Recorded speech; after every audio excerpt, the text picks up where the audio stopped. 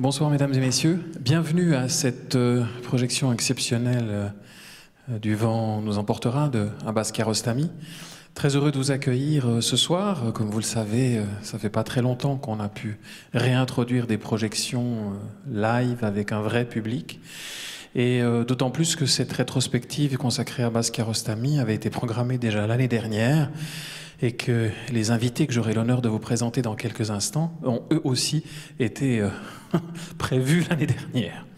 Et aussi, ils avaient réalisé un livre prévu l'année dernière, que voici, Abbas Kiarostami, l'œuvre ouverte, qu'ils ont, qu'ils ont signé, ouvrage euh, magnifique sur Abbas Kiarostami, son œuvre avec euh, notamment des, des photos inédites, peu connues, et, et, une véritable découverte, je dirais, de son œuvre dans son ensemble, parce que comme le titre l'indique, il ne s'agit pas seulement d'un cinéaste, mais d'un artiste complet, d'un poète, d'un pédagogue, dont on aura l'occasion de parler dans quelques instants. J'aimerais juste vous rappeler que ce livre est en vente à la caisse du, cinéma, de même que chez Payot, euh, qui est notre partenaire pour, pour cette occasion et aussi que il n'y aura pas des dédicaces pour des raisons sanitaires, puisqu'on est encore soumis à des règles relativement strictes, mais vous annoncez qu'avec un peu d'espoir, vous l'avez peut-être entendu cet après-midi, à partir du 31 mai, nous aurons la possibilité d'augmenter la jauge à non pas 50 mais 100 spectateurs dans cette salle-ci.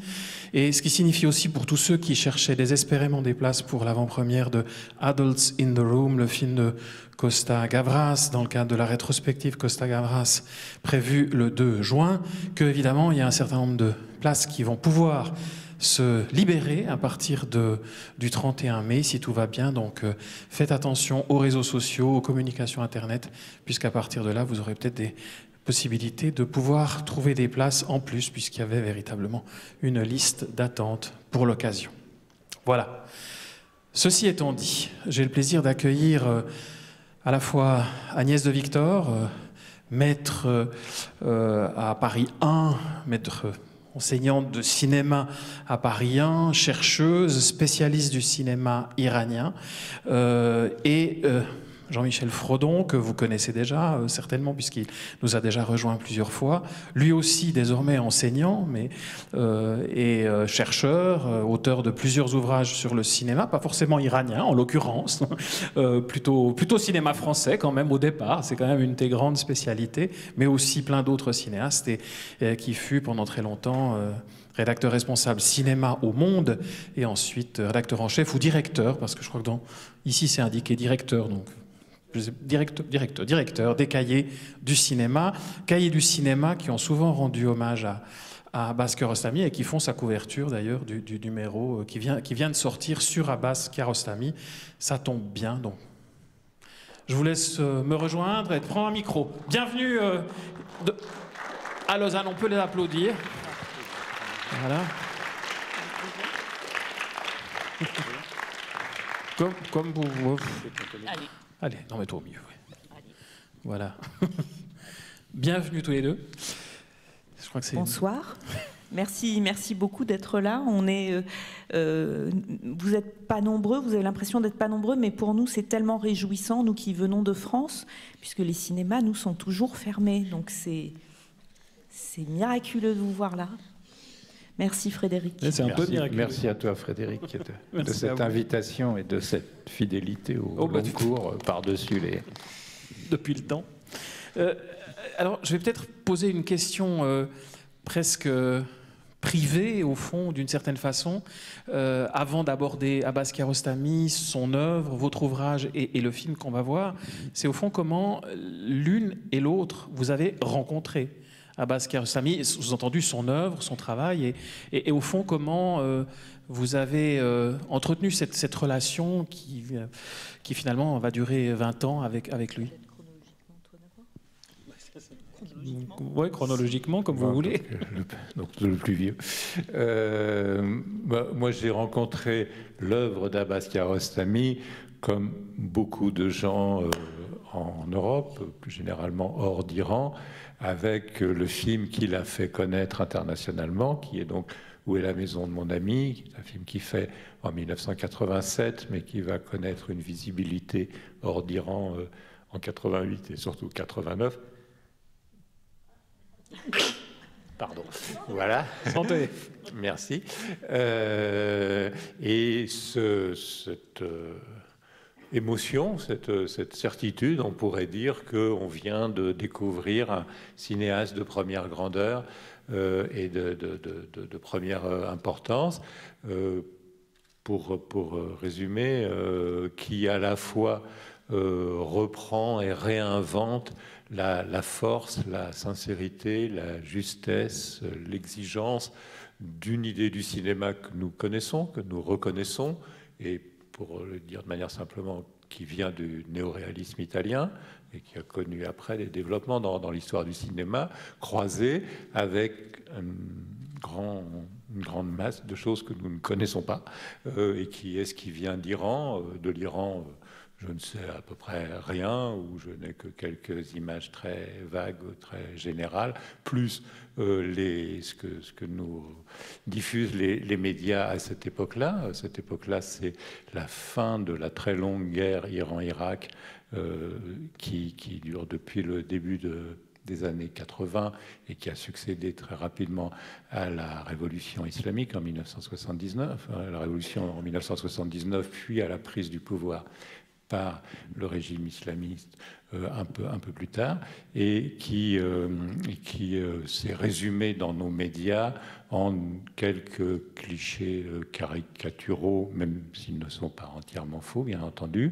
Et là, d'un seul coup, on découvre un monde, des paysages, des gens, des façons de se comporter, toute une autre géographie humaine, géographie physique, des, façons de, de, de parler, de vivre et d'exister, euh, qui, nous, qui nous touchent et qui sont un peu des découvertes et aussi une contre.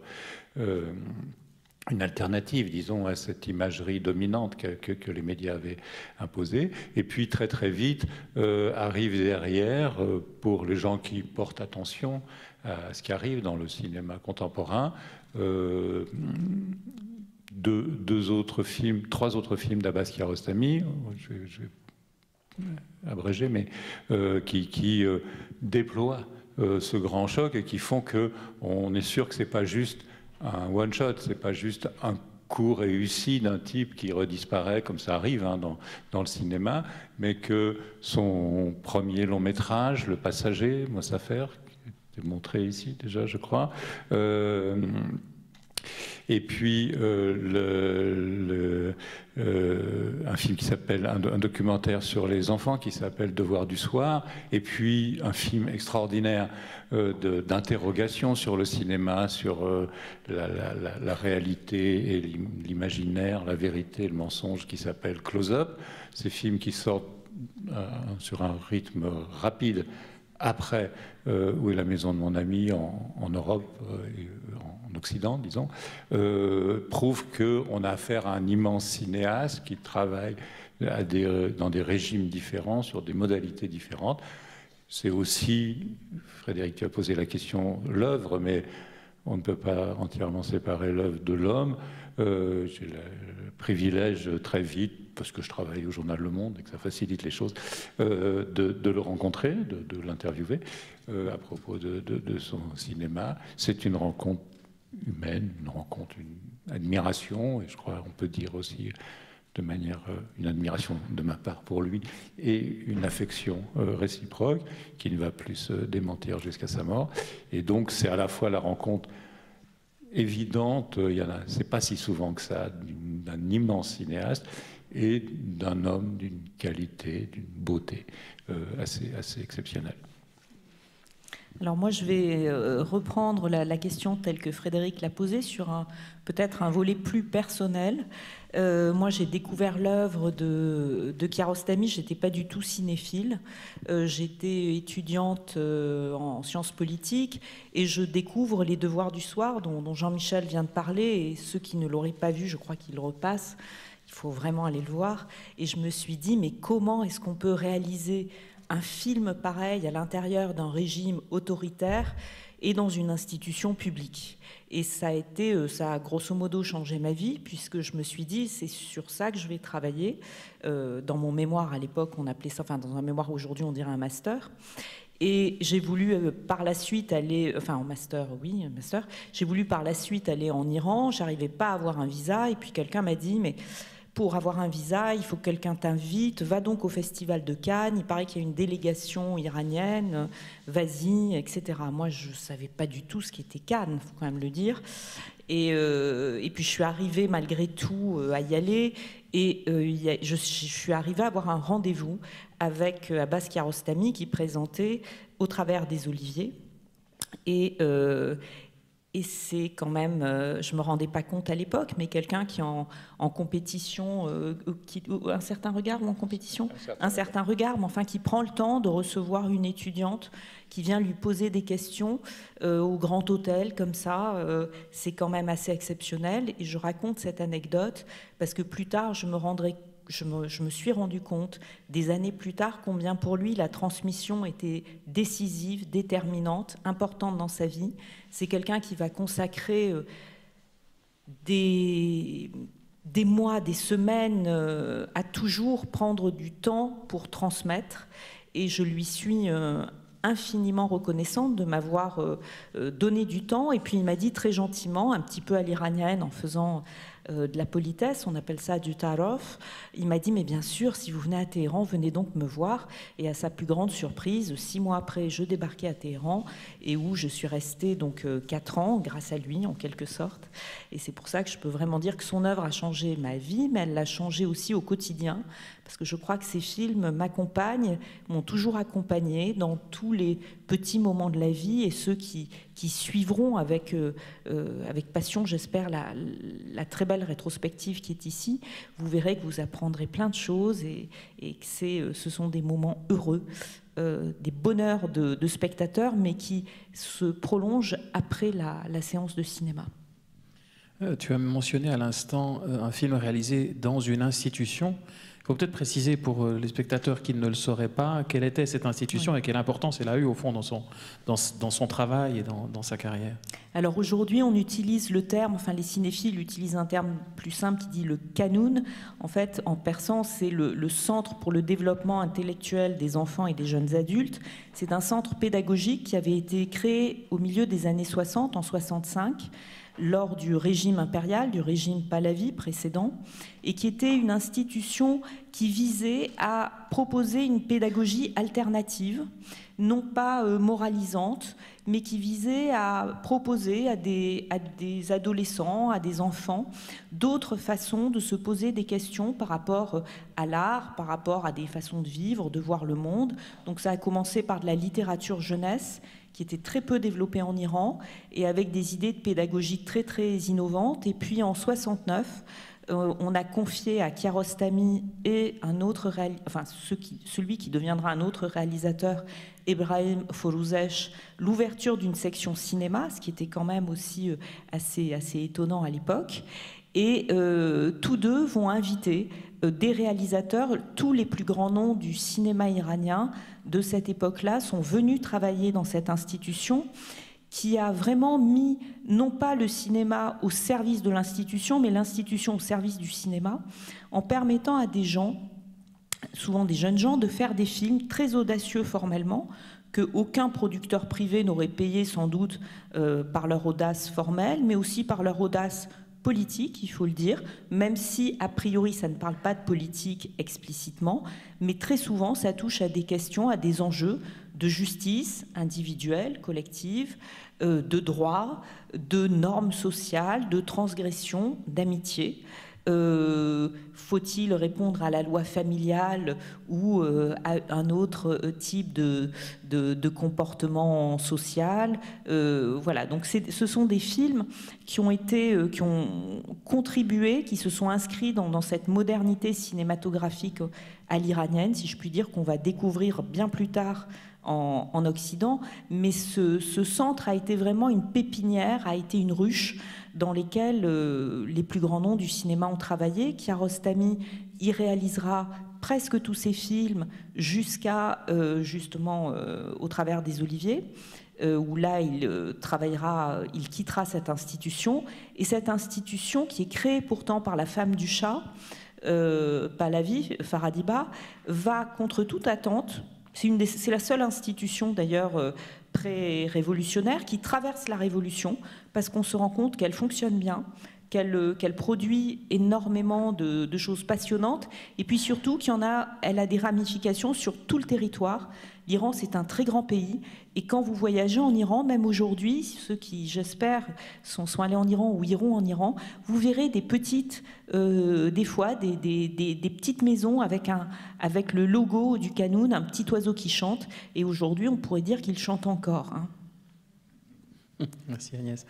Euh, peut-être avant, avant d'aborder plus profondément l'œuvre de, de, de, Abbas Kiarostami, il y a un moment euh, charnière quand même. C'est moi l'occasion que j'ai eue de, de faire ta connaissance indirecte, parce que c'était par courrier interposé, euh, notamment, euh, ce qui a été un moment euh, important pour nous aussi, pour ceux qui s'en souviennent peut-être, c'était la rétrospective qui a eu lieu en, en, 95, pour le dire en français, ou 95, pour le dire en vaudois, à, Locarno, qui était une première tentative du directeur de l'époque, Marco Muller, de, mettre en place une, une, intégrale, ce qui était de loin pas évident, puisque un certain nombre de ces films étaient théoriquement invisibles ou sous le boisseau, enfin inaccessible. Et ça a été en, réalité toute une aventure. Est-ce que ça a vraiment été un moment clé, aussi charnière, comme l'a été le, prix à Locarno pour où, était la, où est la maison de mon ami?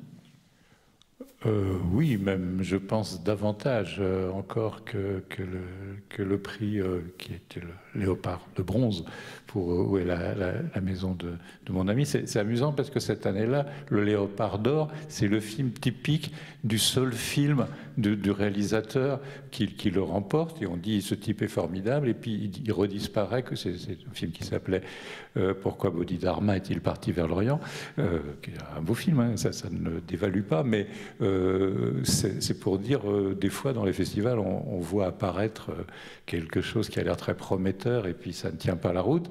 dans le cas de Kiarostami, ô combien ça, aura tenu la route.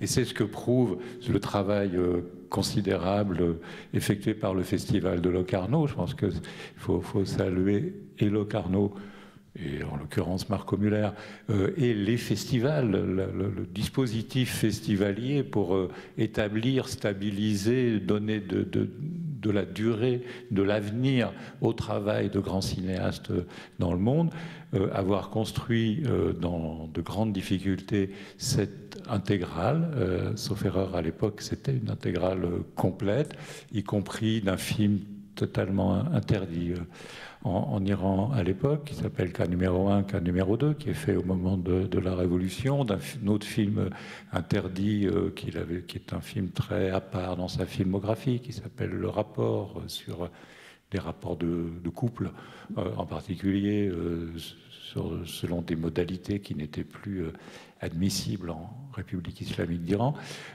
toutes ces toutes ces, dimensions-là qui se sont déployées ensemble et qui ont euh, euh, rendu euh, incontestable la puissance, la richesse, la cohérence en même temps et l'inventivité du cinéma de Kiarostami. oui, Locarno 95 installe irrévocablement, je dirais, Abbas Kiarostami pas parmi les grands réalisateurs iraniens, parmi les grands cinéastes de l'histoire du cinéma mondial. Et ça, fait ce travail-là.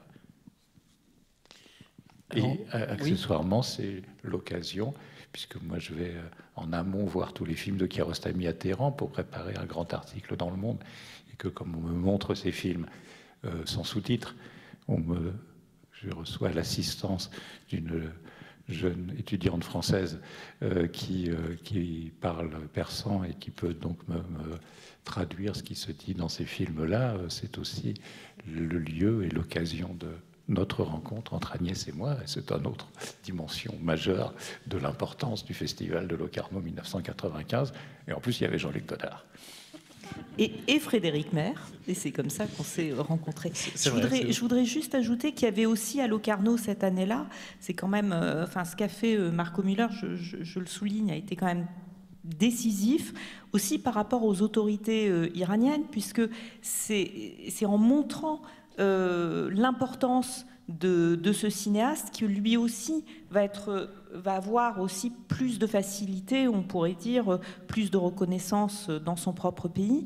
Et Marco Müller avait également organisé une rétrospective sur les femmes cinéastes en Iran la même année et avait été organisée la même année la première, je pense, une des premières expositions de ses photographies et Kiarostami n'est pas simplement un immense réalisateur, c'est quelqu'un qui euh, fait de, qui est un photographe, qui va par la suite euh, euh, travailler dans, enfin qui va faire des propositions, qui va, qui va monter un opéra à Aix-en-Provence, qui va faire du théâtre, qui va faire des arts visuels, des installations, des poésies. Enfin, c'est et, et, déjà Locarno poussait cette porte. Et je pense que ça a été vraiment un moment très décisif. Et ça m'amène justement à enchaîner sur ce que j'allais vous demander par rapport au, livre que vous avez réalisé, parce que le livre, justement, il aborde Abbas Kiarostami dans cette euh, diversité. Alors, est-ce qu'on peut en dire un, peu plus, justement, sur, euh, sur euh, la richesse, au fond, de son monde Parce que certains cinéastes, au fond, se limitent, se cantonnent à l'écriture, voire même simplement à l'adaptation de, de grandes œuvres littéraires, et se cantonnent véritablement dans leur domaine. Et lui, il donne l'impression à la fois de un intérêt gigantesque pour tout ce qui l'entoure, et de l'autre côté, cette capacité forte, c'est très saisissant de voir les, coffrets en bois qu'il a réalisés, enfin qui sont en photo dans le livre, se rendre compte qu'il est aussi capable de, ce travail totalement manuel euh, qu'on pourrait presque pas imaginer euh, quand on le connaît un peu. Je l'imaginerais pas comme ça directement, et pourtant il est bien là, c'est bien son œuvre, y compris des peintures. Donc, comment vous l'avez abordé, et puis comment euh, en, quoi, au fond, cette, ouverture, comme vous le dites, euh, nourrit l'ensemble de son œuvre de cinéaste aussi? Alors, euh, Agnès a, dit tout à l'heure que Kiarostami avait débuté dans le cinéma en, devenant le responsable du département cinéma de cet organisme pédagogique qui s'appelle le Canoun. À ce moment-là, il n'est pas réalisateur et ce n'est même pas du tout son projet. Euh, n'est pas quelqu'un qui a marché vers le cinéma d'un pas décidé et conscient. Il est devenu presque par euh, inadvertance. Il était à ce moment-là euh, graphiste. c'est quelqu'un dont les, premières années, l'adolescence et le début professionnel sont, sont, liés plutôt au, dessin, qui a fait de la peinture. Il dit moi, je trouve qu'il exagère un petit peu, mais bon, euh, il a le droit de le, dire qu'il n'a jamais été peintre, qu'il ne savait pas, qui lui considérait que sa peinture n'était pas digne d'un peintre, ou ses tableaux n'étaient pas dignes d'un peintre, mais il a, il a, vraiment essayé et voulu, et il a cherché avec d'autres euh, médiums, d'autres moyens d'expression, des choses qui venaient d'un désir de, s'exprimer, euh, qui, euh, est né dans le, graphisme et qui va trouver à s'accomplir immédiatement, on pourrait dire, euh, avec son premier court métrage, Le pain et la rue, en 1969. C'est un petit film à tous égards, pas seulement parce qu'il est court, parce que c'est une toute petite histoire très simple d'un petit garçon qui rentre chez lui, euh, qui ramène le pain pour le déjeuner, et puis qui est arrêté euh, en chemin euh, parce qu'il y a un gros chien qui lui fait peur et qui, qui, lui barre la route. Et dans ce tout petit film, il y a déjà l'œuvre complète de Kiarostami, c'est-à-dire à la fois comment on fait avec sa peur, comment on fait avec le monde, comment on construit d'autres relations qui vont permettre de se mettre en mouvement ou de se remettre en mouvement et euh, comment ces processus-là euh, s'inscrivent à la fois dans un environnement. C'est un tout petit film, mais on voit les rues, on voit des habitants, on voit des moyens de locomotion, on voit plein de trucs finalement, euh, si, on le regarde, alors que ça, a l'air d'être tout simple. et il y a cette idée à la fois d'un enjeu de quelque chose qui vous bloque et où on retrouve un mouvement qui est un mouvement physique, et, le cinéma, euh, ça va être ça, c'est quelque chose pour bouger, quelque chose pour avancer, quelque chose pour se déplacer, mais évidemment pas seulement se déplacer dans l'espace, même si ça, ça compte, et on va retrouver ce motif-là très fréquemment dans ces films, mais se déplacer intellectuellement, affectivement, euh, moralement, euh, dans, le rapport aux autres, etc. C'est toute cette, cette, mise en mouvement.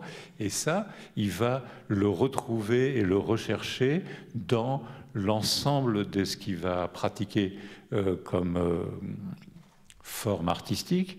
Tu les as énumérés, Frédéric, euh, et Agnès les avait mentionnés, la, poésie, la, vidéo, les installations vidéo, des travaux sur la fin de sa vie avec l'informatique et sur ordinateur, et même, même si ça a l'air paradoxal, la photo, puisque puisqu'il va de beaucoup de manières différentes, euh, jouer avec des questions de mouvement à l'intérieur euh, de, son œuvre, de son œuvre photographique, avec cette, euh,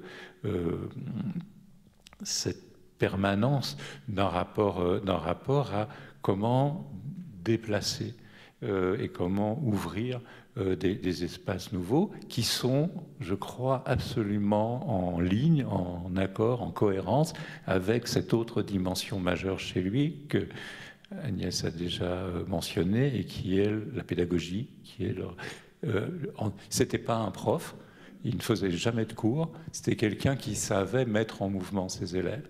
Euh, et c'est la même chose qu'il fait dans les films. Quand il y a un type qui, dans un autre court métrage magnifique qui s'appelle Solution, il, a une voiture, il a crevé dans la montagne, et il se retrouve avec sa, sa roue, et il ne sait pas quoi faire, et qui va trouver qu'est-ce qui fait mouvement et qu'est-ce qui permet de, repartir, qui se transforme en une sorte de danse euh, élégiaque, je ne sais pas comment dire, dionysiaque, euh, qui est à la fois une ode au cinéma et à une espèce de, connivence entre un, être humain, un vivant, un homme et un objet euh, matériel, une, roue de bagnole, dans, une sorte de,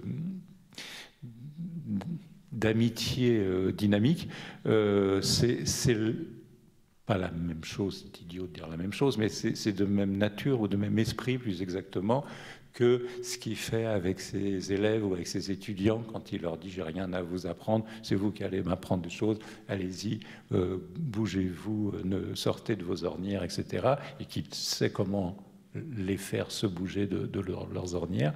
Et c'est cette continuité-là qui fait la cohérence au-delà de la diversité des médiums auxquels il aura recouru. Je vais peut-être prolonger euh, un peu ta question sur euh, ces différentes formes. Je crois qu'il y, a quelque chose qui a été, enfin nous qu'on a constaté et qui est connu chez Abbas, c'est quelqu'un qui travaillait énormément. C'est-à-dire c'était un c'est pas une question d'être bourreau de travail, mais sa vie était fondée vraiment sur, sur le travail.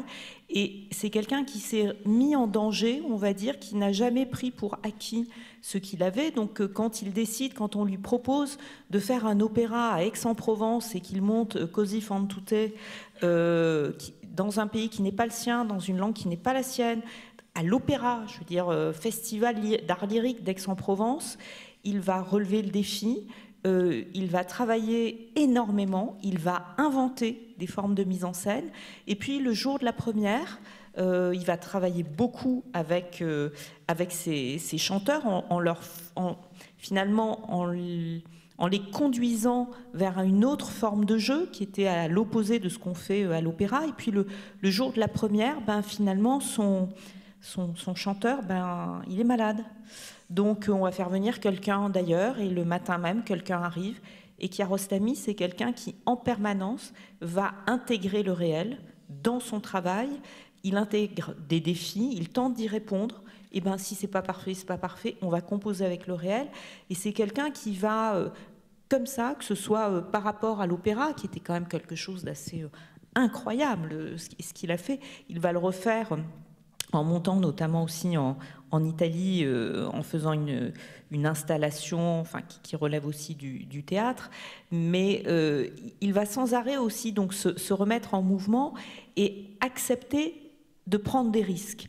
il y connaissait rien à la technique, c'est pas grave. Il va se mettre à euh, utiliser des petites caméras DV, puis après euh, demander de l'aide pour, euh, pour faire la, dernière partie de son travail dans sa vie. Mais il est, il travaille sans arrêt et il accepte de prendre des risques. Et ça aussi, je pense que c'est très rare. Quelqu'un qui donne énormément de son temps à la transmission et qui prend des risques sans arrêt dans son propre travail. Tu, viens d'évoquer cette dimension d'intégrer au fond le réel ou ce qui se passe ou les accidents du réel à l'intérieur de, ces œuvres, quelles qu'elles soient. Euh, il y a peut-être une dimension sur laquelle j'aimerais bien vous entendre un instant avant qu'on aborde peut-être le, film qu'on va voir dans quelques instants, euh, c'est cette dimension de, réflexion permanente sur l'acte de création quand même.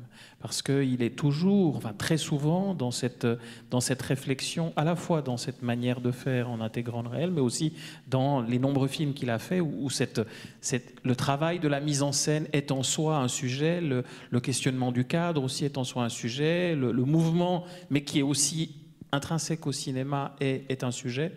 Euh, et, c'est aussi quelque chose qui, se poursuit, me semble-t-il, dans, l'ensemble de son œuvre. Ce qui est très passionnant et je dirais même impressionnant euh, à cet égard, c'est qu'un Basquiat Rostami n'est pas un théoricien. Et c'est pas quelqu'un qui construit euh, des discours, pas parce qu'il n'en est pas capable, hautement capable, mais parce que c'est pas par là que ça se passe. Euh, c'est pas comme ça qu'il travaille, et c'est pas comme ça qu'il j'allais dire qu'il trouve, il trouve, c'est pas tellement qu'il trouve, c'est qu'il propose, c'est que des choses, il, construit des, des, des, des, conditions et, qui, qui, vont faire advenir euh, après. Tu, as mentionné le, le cadre, euh, Frédéric, euh, et c'est très juste. Il y a des centaines de, de, de micro manière de mettre en travail la question du cadre dans le film. Par exemple, il y a une scène tout au début de Où est la maison de mon ami où quelqu'un, clairement, jette une poule dans le plan qui surgit entre les enfants et donc qui fait surgir du hors-champ un, être qui n'est pas nécessaire en plus, et la poule ne sert à rien dans l'histoire.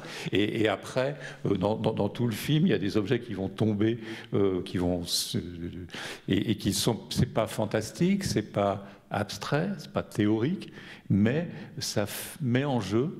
Et, euh, à aucun moment dans le scénario, il y a écrit une poule surgit. Euh, ça, se fait sur le moment. ce sont des, intuitions et des processus qui sont, en cours euh, avec ce rapport. Donc euh, Agnès a parlé du réel, c'est majeur, c'est central, avec un rapport complexe, problématique, toujours remis en question avec la vérité tout n'est pas vrai dans ce qu'on voit dans les films de Kiarostami, très loin s'en faut.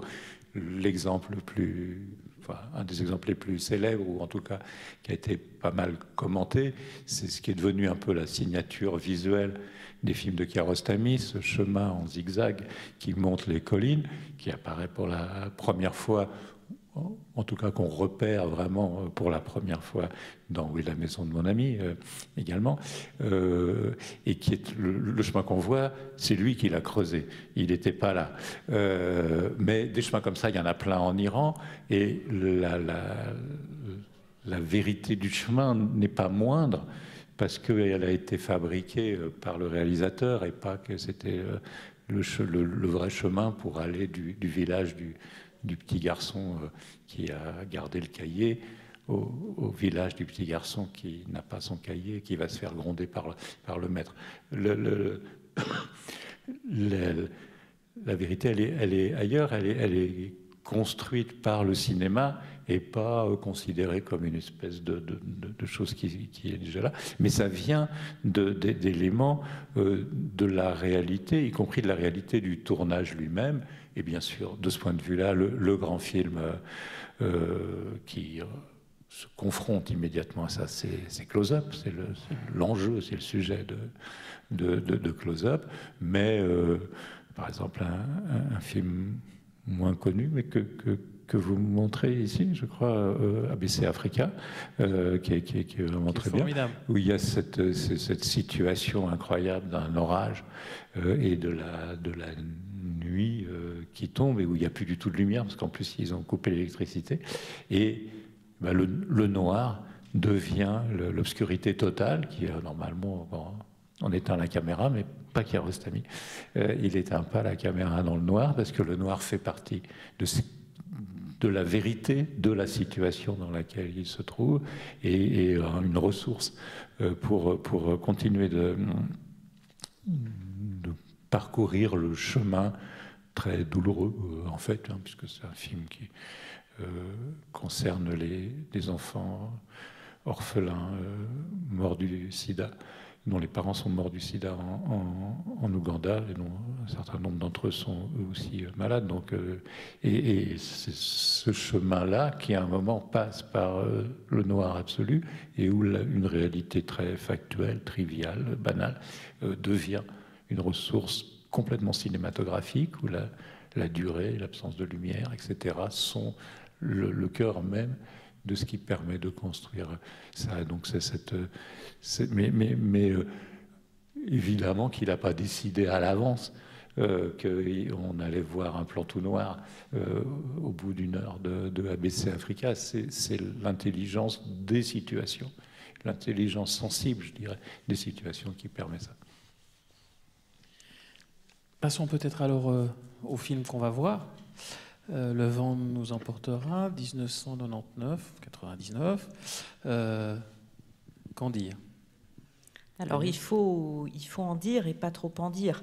On va pas, euh, on va pas divulguer le, le nom de l'assassin. Le nom de l'assassin. mais peut-être quelques mots de, peut-être plus de contextualisation. Ce film, tout d'abord, sa date. Il est tourné en 98. 98, c'est un an après 97. 97, Kiarostami euh, à la Palme d'Or à Cannes, ce qui va être un tournant euh, majeur dans, sa carrière cinématographique, et ce qui va aussi lui pour le goût de la cerise, euh, projeté ici, ce qui va être aussi très difficile pour lui après, puisqu'il va énormément appréhender le, film suivant, et il va tourner un film qui est peut-être, euh, enfin qui est son dernier film en Iran euh, tourné de façon classique avec une équipe relativement lourde en 35 mm euh, dans un format, enfin dans un dispositif entre guillemets relativement classique. Et ce qui va se passer à l'écran, enfin en tous les cas l'histoire du film finalement est un petit peu ce que vit aussi euh, Kiarostami avec ses propres équipes techniques. Donc c'est un film tournant, mais c'est un film qui, s'inscrit euh, par rapport à ce que, Jean-Michel a dit et ce que, vous avez dit euh, tous les deux, complètement dans la lignée de, son cinéma. Vous repérez ces objets qui roulent, ce réel qui résiste sans arrêt. C'est un film qui se passe, ça peut-être, il faut le, préciser, qui se passe dans le Kurdistan iranien, où on parle donc kurde, euh, et c'est l'histoire donc d'un réalisateur qui va aller euh, tourner un documentaire dans cette, euh, dans cette région. Et peut-être qu'un autre tournant de ce film, c'est que pour une fois, ce n'est pas l'enfant qui va être le personnage papillon qui va évoluer euh, dans le film, mais c'est l'adulte qui va peut-être s'éveiller à, autre chose. Donc là aussi, ce sont des continuités euh, et, des, changements. Euh, film majestueux. Alors, chaque fois qu'on parle des films de Kiarostami, j'ai toujours envie de dire c'est mon préféré, mais peut-être que celui-ci est un de mes préférés quand même, par sa grâce, par son Bon, je, vais vous parler sinon et je, préfère vous laisser face à l'œuvre, mais en tous les cas, c'est un film magnifique, magistral. Je ne sais pas si tu veux ajouter un mot, mais je crois qu'il ne faut pas dévoiler trop d'éléments. Non, non, non, voilà, c'est un film, c'est un film d'une certaine manière. Euh, euh, enfin, qui fait une certaine somme de, de, de, l'œuvre de Kiarostami euh, à ce, à ce moment-là, et qui, donc Agnès l'a dit, mais c'est le dernier film au XXe siècle euh, d'Abbas Kiarostami. C'est le dernier film euh, en pellicule euh, d'Abbas Kiarostami. C'est un film qui est